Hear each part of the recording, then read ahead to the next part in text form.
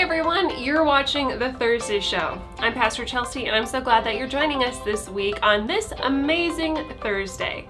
So over the past few weeks, we've been talking about habits, how to create habits, the process that a habit takes, both good or bad, to develop within us. And today I wanted to wrap up that conversation by talking about how we can actually set a goal or a habit that we're likely to follow through on because we're a couple weeks into January now and it's possible that maybe you've fallen off the bandwagon on some of those New Year's resolutions. I know I already have too. So how can we practically set habits and goals that we're going to stick to? And I was having a conversation with our own Pastor Brian this past week and it was really cool because he brought up a verse that goes along so perfectly with this whole conversation about habits and goals. Maybe it's one that you've heard before, but didn't even realize how closely it ties into this conversation. I want to read it to you. It's Proverbs chapter 3, verses 5 and 6. And it says, Trust in the Lord with all your heart and lean not on your own understanding. In all your ways acknowledge him, and he will direct your paths.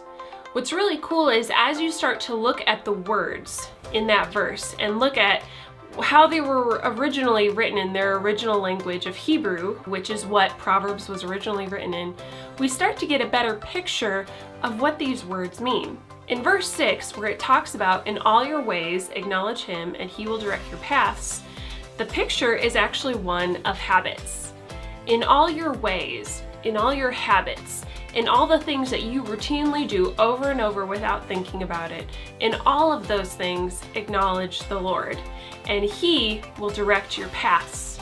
That word paths gives us the picture of almost kind of like a pathway through the wilderness. It's been it's been put there by how many times people have repeated going over that path over and over.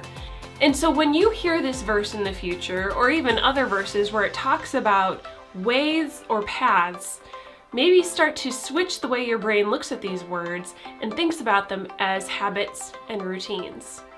Well, last week I promised that I would give you a framework to set goals that we can actually achieve, and I want to fulfill that promise.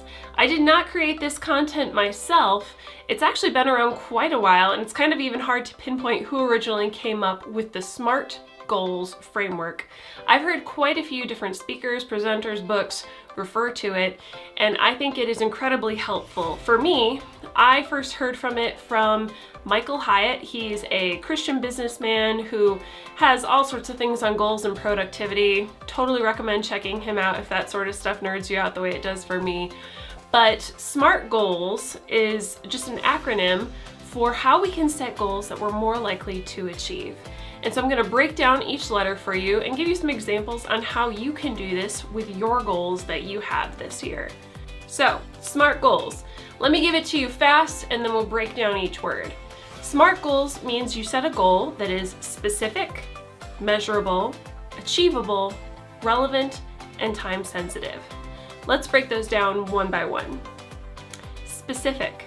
If we want to set goals that we're likely to achieve, we have to get specific with our goals.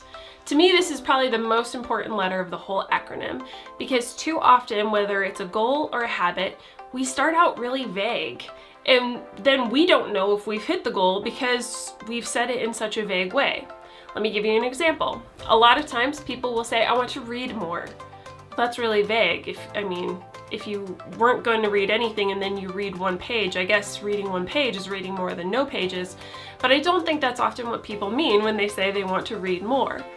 So to get specific with a goal needs to add to add some structure to it so you know whether or not you've met that goal. So one of my goals this year was to read more, but I knew I needed to get more specific than that. So I set the goal as to read five pages a day right when I climb into bed before I fall asleep. That's really specific. And now because I've been so specific, I know whether or not I've hit that goal. I know whether or not I read before I went to bed last night. I don't think I did. But you get the idea. We have to be specific if we're going to actually hit these goals. Some other ways or examples that people do this is say, oh, I want to communicate with my spouse better. Well, that's a good goal, but it's still kind of vague. So to make it more specific would be, I'm going to talk 30 minutes with uninterrupted conversation with my spouse at dinner. That's really specific. Now you know whether you've hit it. A vague goal would be, I want to get organized this year. But to make it more specific would to be to say, I'm going to spend 10 minutes a day after I eat lunch cleaning out a drawer or a closet. Those are ways to make your goals more specific and you're going to find if you're specific with your goal, it's a lot easier to know whether you've hit it or not. Let's go to the next letter, M, measurable. Goals need to not only be specific, but they need to be measurable as well. And these two kind of go hand in hand because the measurable factor lets you know whether or not you're hitting it. A lot of times to make a goal more measurable simply means to add a number into it so that you can know whether you're hitting it or not. With my reading goal, the measurable factor is the five pages. I know if I read five pages, I've hit my goal every single day. So if you have a goal, find a way to make it measurable. If your goal is to lose weight, give it a specific measure to it. Say, I want to lose 10 pounds by May 1st. That makes it measurable. And if a goal is measurable, then we can know whether or not we've hit it. A, achievable. Is your goal something that you can actually do? Because you have to set a goal that you can actually obtain. Me saying, I want to save a million dollars by next year, great goal, probably not very achievable on my pastor salary. So make sure you're setting goals that are doable, that you can realistically achieve. Saying, I want to run a marathon next weekend, eh, probably not gonna happen unless you're already in shape. But if I say, I want to run a marathon by October, that gives me time to prepare now and pace myself so that I can achieve that goal later on. And that's part of what this does is when we set these goals that are specific, measurable, and achievable, it makes us work backwards from the deadlines that we set for ourselves and figure out every day how can we break down steps into small pieces so that we can aim towards our bigger habit or goal. The next letter is R, relevant. We need to set a goal that is relevant. I've also sometimes heard people use the R as risky. I think both of these words work well in this space because we need to have a goal that is relevant to our lifestyle, to our choices, to our uh, the settings that we're currently in, you know. If you're a mom raising kids right now, the goals you set need to be relevant to that phase of life. Whereas if you're single and working in a career, you need to also set goals that are relevant to where you're at in life. So make sure no matter where you're at that your goals are relevant to who you are and what you're doing in your day-to-day -day life.